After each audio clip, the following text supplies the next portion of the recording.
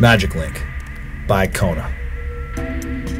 With the ability to change geometry, travel, and suspension on the fly, Magic Link represents a new era in dual suspension mountain biking.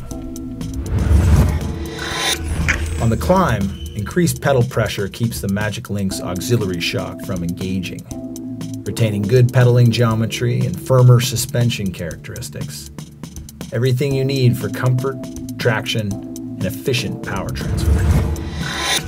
As speed increases, so do forces on the bike's rear suspension. Tire drag, faster corners, and bigger bumps cause the Magic Link's auxiliary shock to move deeper into its travel. That is when the magic starts. Chain stays elongate, the saddle and bottom bracket lower, and the head tube slackens, all amounting to an agile, confident riding position with increased wheel traction plusher travel. No need to stop and flick a switch. Magic Link is a completely intuitive system. It's always on. You and the trail are the switch.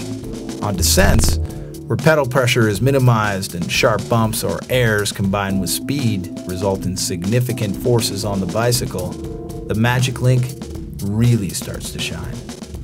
First, notice the increased slackness when both the auxiliary shock and the main shock are fully engaged.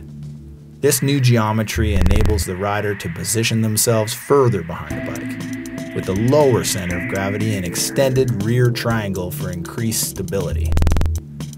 It's also important to note that the Magic Link's two separate shocks work in series, providing a variable spring rate, one that's lower and more plush in descend mode. Working in series also allows the rear wheel to pop over big, sharp bumps with virtually no resistance.